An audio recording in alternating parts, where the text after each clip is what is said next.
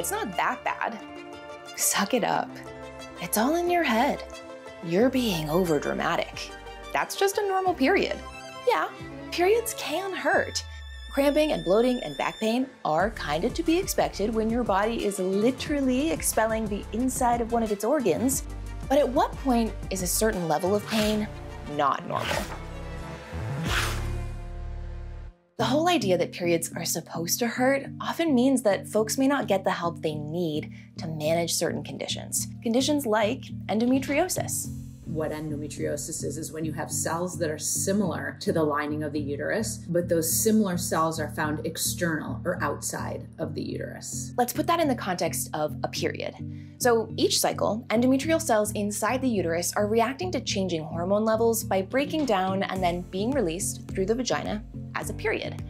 But with endometriosis, the endometrial-like tissue growing outside of the uterus is doing the same thing, except these cells have no way to get out of the body. Symptoms of endo will vary, especially based on where the endometrial-like tissue is growing in the body, and often these symptoms aren't taken that seriously. They're brushed off as just a bad period. But for Jenna, her endo was found on her diaphragm. I was having nausea. I was starting to have difficulty with running. I was having crazy constipation, bloating, pain with sex. And this gynecologist asked me if I had ever heard of endometriosis. And I told her no, I'd never heard of it before.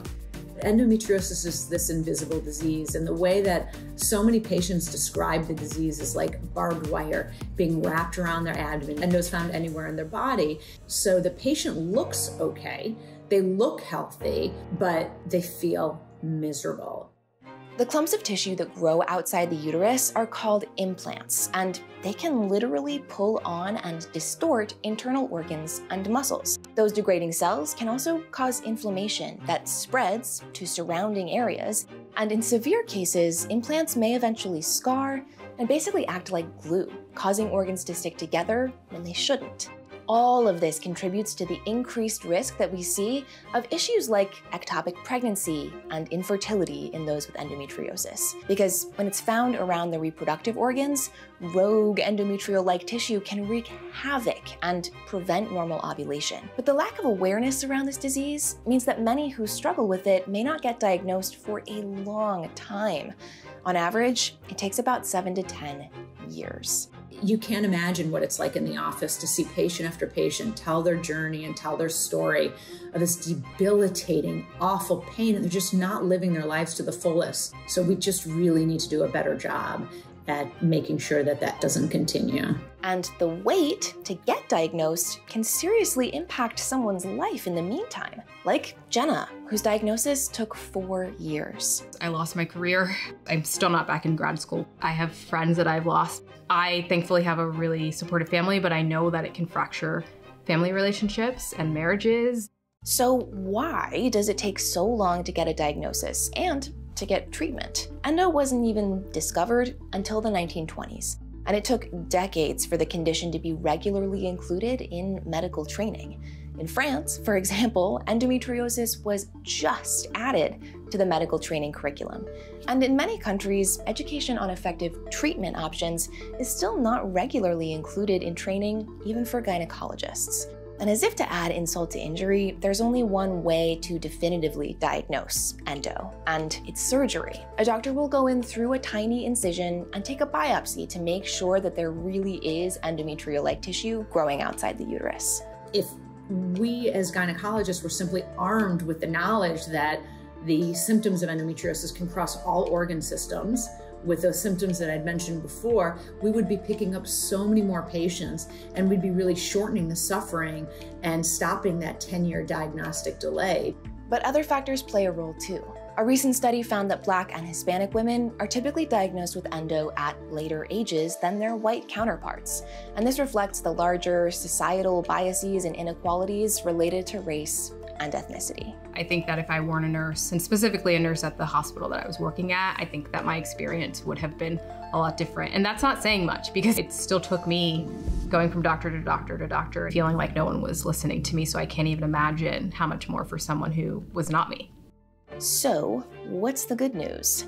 There are ways to manage this condition Hormonal medications like the birth control pill can often ease symptoms. Pain medication can also help, but it just masks the pain. And it's really important to remember that none of these options actually make the endometrial-like tissue go away. Now, surgery is another treatment for endo. There are two kinds of surgery, ablation and excision. Ablation is where the tissue is basically burned away, and excision is where the implants are cut out. Excision is the preferred treatment for most cases of endo, especially where that endometriosis has deeply infiltrated other areas of the body. More research could help us better understand which treatments work best for different stages, locations, and types of endometriosis. And surgery isn't a perfect cure either. Because while that endometrial like tissue won't grow back in an area where it's been cut out, the tissue could develop in new areas of the body and pain can persist after treatment. So, with all this going on, you can see why it's so important to speak with a specialist and make sure that your care plan for endometriosis makes sense for your specific situation. Now, a glimmer of hope here. In the last few years, more and more of the underlying cellular mechanisms have been explored for why this tissue is growing where it's not supposed to. But this research has yet to be translated into better treatment options. And this comes down to what we talked about in our very first episode of this series. Issues like endo have only been acknowledged and thoroughly investigated by the medical community relatively recently. So the more we talk about it, the more we advocate for more research and better solutions, hopefully, the faster we're gonna get better outcomes for real, everyday people. I know that the symptoms that come with endometriosis can kind of be a constellation and all over the place, and you're seeing all these different specialists and no one's putting the pieces together. Ultimately, though, it's not in your head. Your pain is real, your symptoms are real, and to keep fighting until you find someone who believes that. If you or someone you know is struggling with pain or with getting a diagnosis, we've left some resources for you in the description. Thank you all so much for watching Seeker's Body Language, and we hope you learned something new in this episode. If you have another topic like this you want us to cover in this series, then let us know in the comments, and I'll see you next time.